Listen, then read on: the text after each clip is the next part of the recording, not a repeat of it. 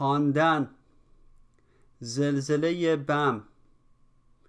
شهر بم یکی از شهرهای مهم در استان کرمان است.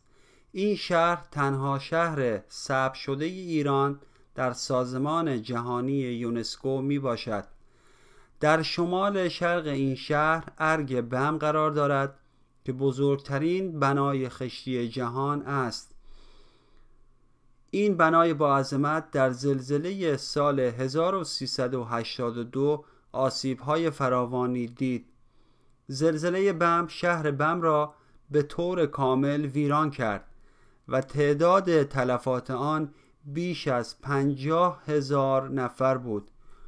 یکی از آثار این زلزله مهیب بهبود رابطه ایران و آمریکا است. آمریکا یک هواپیمای نظامی را که حاوی کمک های انسان دوستانه بود به ایران فرستاد.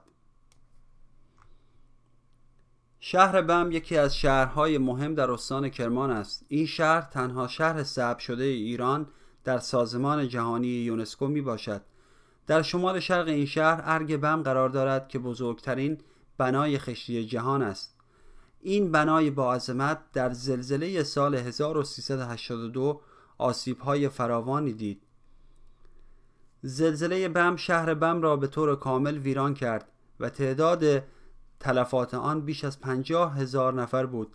یکی از آثار این زلزله مهیب آثار این زلزله مهیب بهبود رابطه ایران و آمریکا است. آمریکا یک هواپیمای نظامی را که حاوی کمک های انسان دوستانه بود به ایران فرستاد.